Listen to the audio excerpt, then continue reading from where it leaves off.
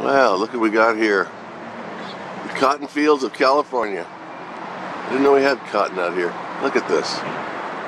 Microwave frequencies shooting all through our sky, and I'm sure through us as well. So you can see the frequencies, the weird uh, coagulation here. There's probably 10 million faces in this thing. If you freeze frame it, you're going to see them. As weird as that sounds, a lot of us have seen them. And I mean, they get in detail to where you see pupils in the eyes and things like that. So, bizarro. Look at this.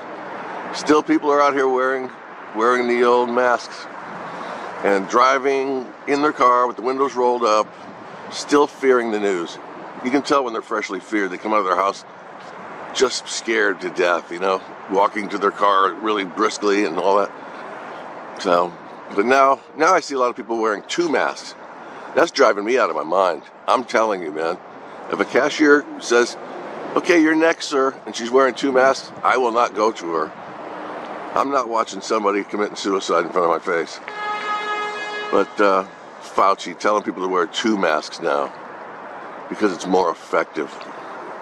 That mole face, he is such a freak. You know, first he said, uh, you don't need a mask. Then he said, okay, you need a mask. And now he's saying, you need two. Okay. Yeah, I trust you all because you're so nice. Look at the sky. Same agenda as the stupid muzzles and everything else. All right, take care, guys. I'm out of here.